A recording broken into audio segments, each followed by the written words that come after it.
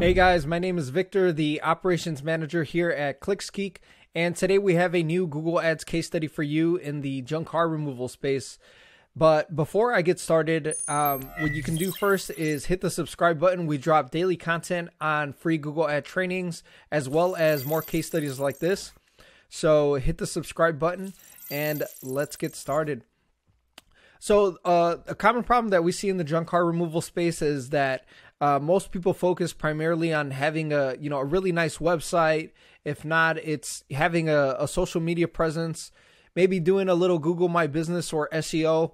Uh, but the only problem with the you know these avenues is that there isn't a way that you can actively turn things on and off like we're able to do here with Google Ads.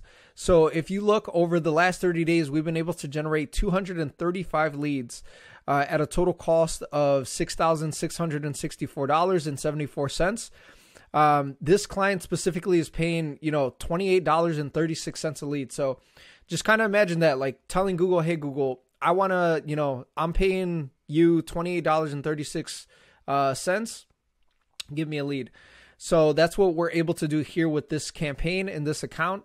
Um, if you look here over the 30 days, we've been able to generate um, the leads at a conversion rate of 56%. So that means roughly a little over half the market that is actively searching for someone to buy their junk car. We're getting that, we're owning that. So um, that means we're able to capture most of the market uh, and basically dominate in this area. So um, if you look over the course of these 30 days, um, there are fluctuations as you can see here, but it's still pretty consistent. Like it doesn't deviate away too far from what we've been able to generate. So if you see here, 50 leads here, we have 60 here, 63 here, and then it kind of tapers down to 56. But if you notice, this line is still pretty steady across the board. Um, as well as they're spending a pretty good budget.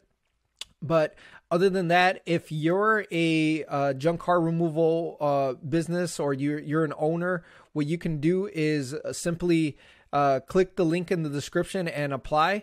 Uh, if you're interested in running a Google Ads campaign just like this in your market, and what we'll be able to do is simply use the same keywords. We'll use the landing page. We'll also write have these ads, write the same ads um, and just simply run it in your market and use your branding.